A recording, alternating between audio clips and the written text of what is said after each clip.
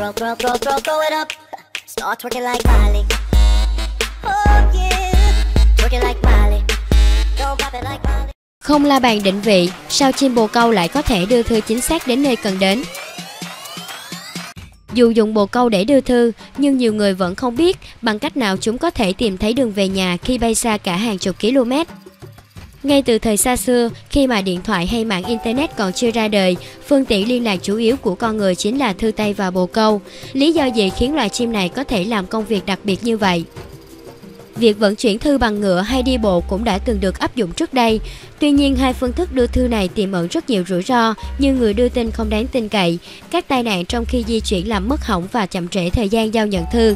Thêm vào đó, việc di chuyển bằng ngựa hay đi bộ cũng phụ thuộc rất nhiều vào điều kiện thời tiết và tốc độ di chuyển. Rất khó để có thể xác định chính xác thời gian thư được vận chuyển. Chính vì thế, việc dùng bồ câu đưa thư từ 3.000 năm trước đã mang đến những lợi ích to lớn. Trong khi quan sát và nghiên cứu hướng bay của các loài chim, người cổ xưa đã phát hiện ra chúng có khả năng tìm đường vô cùng chính xác và đặc biệt. Các loài chim có thể tìm đường về tổ ấm cho dù chúng bị lạc đường trong quá trình đi kiếm mồi đi chăng nữa.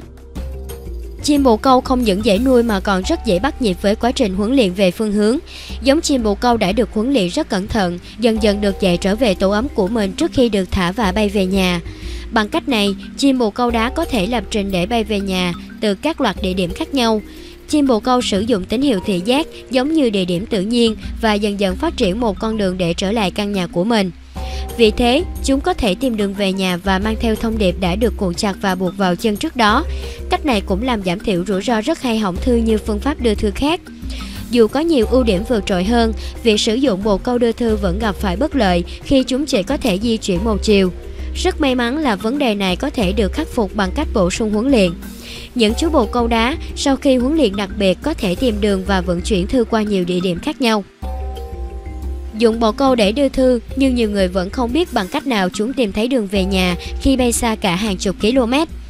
Có nghiên cứu cho rằng chúng dùng khứu giác như một chiếc đồng hồ hay la bàn, trong khi nhóm khác lại cho rằng chúng dựa vào môi trường tự nhiên thân quen và những cột mốc để nhận biết nơi nào là nhà.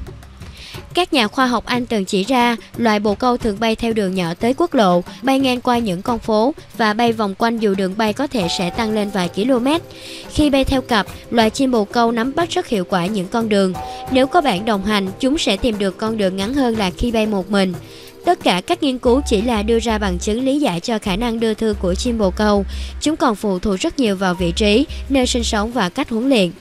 Các nghiên cứu có thể phủ nhận lẫn nhau, thế nhưng có một điều người ta không thể không thừa nhận, đó chính là khả năng tìm đường vô cùng thông minh và tuyệt vời của loài chim này.